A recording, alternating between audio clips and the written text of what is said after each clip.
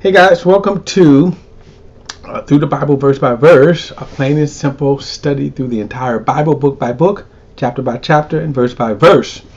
And we are currently in Genesis chapter 4. Now, if you notice, I'm back on doing these kind of the, the live videos.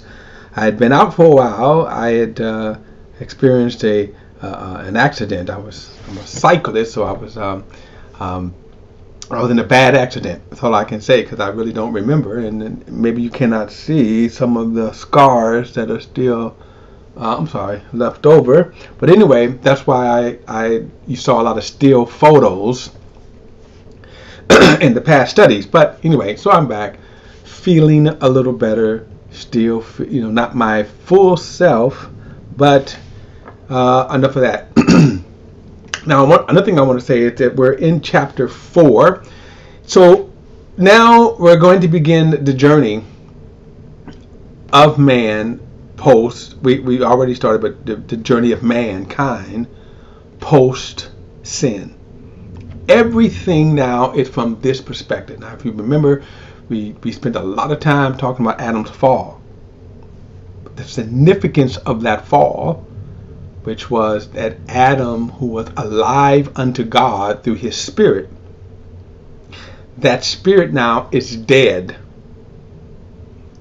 Man, every man after Adam, and as 1 Corinthians chapter um, 15, I believe it's around verse 22 says, as in Adam all died, meaning they are separated, we are alienated from God in other words, man exists apart from God. And so now we live according to and by our lower nature, our physical bodies. So this is what we're going to see as we now start journeying through.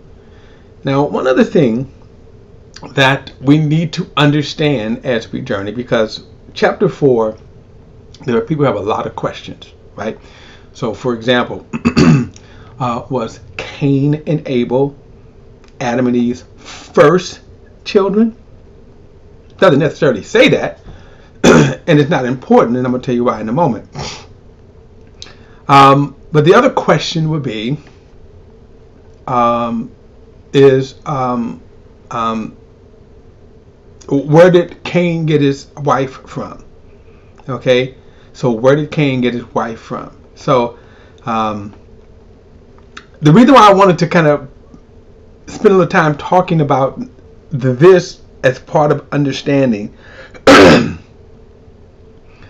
um, the Bible is not a history book. It was not designed to give a full history. The Bible is designed by God to tell God's story the way God wanted it told. So, saying that, what we see are the interests that God wants to focus on. So we go, if you go back to asking the question, excuse me, was Cain and Abel God's first children? It's assumed that they were because they're mentioned first, but the Bible doesn't teach that. and the other thing is that the reason why is because it's not important because and again, let me say they could be. Uh, again, the Bible just doesn't say it, and I'll get more into that when we read the scripture.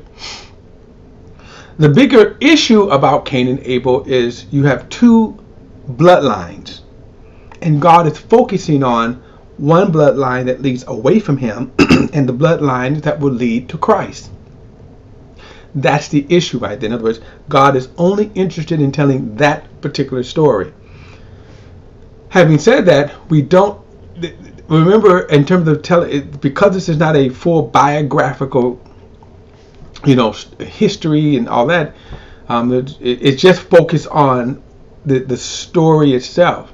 We, we don't have a timeline in terms of how long Adam and Eve was here. We, we do in some respect, and I'll get to that in chapter five. However, we're going to see some things that and this is why again I come back and and, and, and will raise the issue of whether or not if Cain and Abel are the first. It's just a friendly debate. But I'm going to show you that at the time of Cain and Abel, there were already other people on the earth. So we'll get to that. So let's start reading. Um, all right, Adam was intimate with his wife Eve. Now I want to say something about this when it says that Adam was intimate with his wife. Now, many of the translations is that Adam knew, and, and if you remember uh, back then we talked about the word know, a knowledge. The word know and knowledge itself means intimacy. It means intimate. It means knowledgeable or experiential knowledge. So when he says that Adam knew his wife, this is a euphemism for they had sex. But it also kind of points out the idea of uh, the relationship between Adam and Eve was more than just conversational and knowledgeable, but that a joining together. okay, my translation here, the Holman Christian Standard Bible, uses um, the word intimacy because that's how you would use this word. Now we'll see this word further down uh, in Scripture used the same way. It says, "And Adam was intimate with his wife Eve. And she conceived and gave birth to Cain." And she said, I have a male child with the Lord's help. Now, it's interesting that, that Eve would say this because remember, she is having painful delivery. And then notice she credits God for his help. Now, that's kind of interesting there that Eve is crediting God for help, even though she sinned, even though they're they, they, they're, they're, they're living the consequences of their sin, um, that she is still praying or a discount relationship with God. Um, and, and, and we see that they're not anti God, as we will see with their sons, and just momentarily we're going to see how anti God they the human race is already becoming. Okay, um, in just a few short years. Uh, so he says, then she also gave birth to his brother Abel. So, uh, as I said, if you see right here, it doesn't say that they were the first. And while we could debate about this, it's not okay. It's not you know, neither one could prove to be right or wrong. I'm just pointing out, and we will see. I will tell you the reason why I'm of the opinion that they may or may not be the first, because we will see the presence of other humans later. Now, all of this is still kind of, you know, again, I wouldn't debate about this, but it, it just it's just interesting to me conversation on this. The point of Moses writing this under the inspiration of God, we're going to see two different lines, one godly and one ungodly. And that would be the, the, the importance of this. um, verse 2 again. Then she also gave uh, birth to his brother Abel. And Abel became a shepherd of flocks, but Cain worked the ground. And in the course of time, Cain presented some of his land produce as an offering to God. And Abel also presented an offering, some of the firstborn of his flock and their fat portion. The Lord had regard for Abel and his offerings, but did not have regard for Cain and his offering. And Cain with furious, and he looked despondent. Now, this is kind of interesting here. A couple of things we see here. One, right off, we see offerings, this idea of offerings to God. Interesting.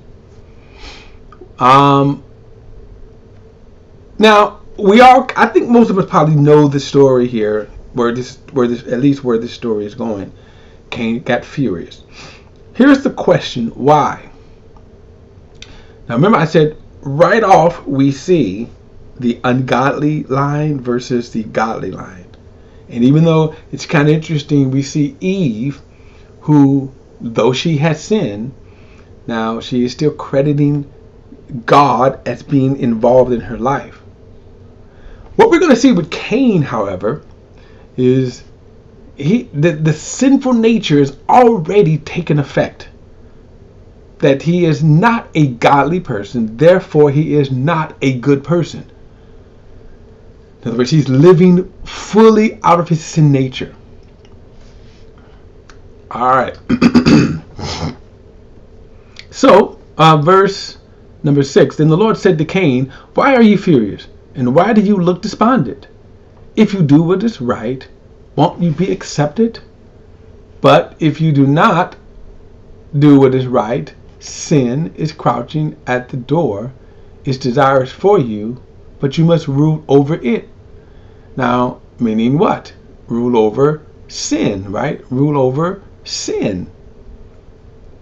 Now, right here, I also want to see that God oftentimes is blamed for a lot of things, right? Especially when it comes to sin.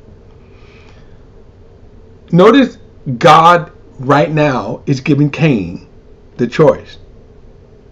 So first we have to kind of understand some things here. One of the things about Cain that we will see is that Cain to me represents man in his personal quest towards God. In other words, Cain is presenting to God what Cain wants to present to God. We know in other scriptures, in Hebrews, for example, chapter 11, the Bible talks about Cain offering his, um, I mean, sorry, Abel offering his uh, offering to God um, in faith. Cain didn't. We also know in First John, we know that hatred will drive Cain here. It's driving Cain. Uh, but notice the idea that here you see Cain thank God, this is what I'm giving you. And right here becomes the problem with man, whether it's religion. Uh, we will see later on the organized, where organized religion comes. But right here, understand, and, and, and also understand um, God is still active here. That Cain is offering God in a sense with God's presence avail availing here. In other words, you know, because notice God begins to talk to Cain. Now, however God does it, it could be angel, it could be something, but God is talking to angel. I mean to Cain. But notice the sin, and this is important. Now, remember I said we will see from Genesis to Revelation the sin nature of man that will dominate throughout. And you can peel away all of the excuses, you know, what if, you know, and, and, you know, when people say I'm I'm angry at God or I don't believe in God, you can peel away all of these things and really what it comes down to is your sin nature. And this sin nature drives man. And I can tell you right now that I am horrified I, I, and I am. I'm horrified. I pray for God's mercy. I don't want to have that kind of sin nature. It is this sin nature that caused man to rebel against God. Now, of course, Cain, like Adam, I mean, right? Like father, like son. This is what Adam did. Here you see the sin exposed. Cain wants to offer to God God, this is my thing. And, and, and a lot of times we do the same thing in some of our culture today. Um, this is one of the things we find today in our culture. Um, I'm a gay Christian. I no, I'm I'm not just picking on the LGBTQ, but they're the whole Christian gay movement. Though, so if you want to kind of put this into context here, think about this. Here, Cain is offering God an offering. God is talking to Cain, but Cain is still sinning against God. So when we put that today, just peel away all of the nuances, the pretense. I'm a gay Christian. Well, how about this? I'm divorcing my wife, I'm divorcing my husband, but I'm going to get married again. Is that scriptural? Does it matter? I'm offering this to God. Hmm? Um, I'm an adulterer. God has to accept me. I'm a murderer. God has to accept me. We're not, and there's a vast difference in a person who sins and then repents for the sin, uh, then then what we see here, this is to me true Canaanism. I'm borrowing the phrase here. This is true Canaanism. That Cain is offering to God what Cain wants. And the sin here is that he's not humbling himself before God. Right? He's not humbling. And, and we're going to see even after this sin, he's not going to humble himself before God. So God says, if you do what is right, why are you furious?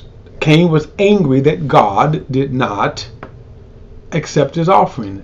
Now, you know how I feel about this, so I'm going, but I'm going to say this again, and let me be clear that I'm not, I'm, gonna, I'm not going to represent God. That God is merciful. When people say I'm angry at God, do you really think God cares? But He's merciful because God will never, ever, ever humble Himself to man. and notice Cain was angry because God refused his offering. But you're offering it to God, the creator of the universe. You're offering it to God. So why wouldn't Adam, I mean Cain, say, Lord, well then, what would you have me to offer? I humble myself. See, right here, this is the sin we're going to see throughout the entire Bible as we journey through our study through the whole Bible. When people say, I'm angry at God, are you really angry at God? Because what? Because God didn't answer your prayer? Because God didn't do what you want Him to do? How about humbling yourself before God? You know, Lord, what would you have me? If I say, God, I want to do something, I want to do this and I don't God is not blessing me. But God, what would you have me to do? What is your will? See, this is this is Canaanism, proper Canaanism. Obviously, I'm going to pick this up, guys. I'm going to stop here because I'm going to pick this up in the next study because we're going to go on with this. This is very interesting. Uh, thanks, everyone, for tuning in. I'll see you in the next study.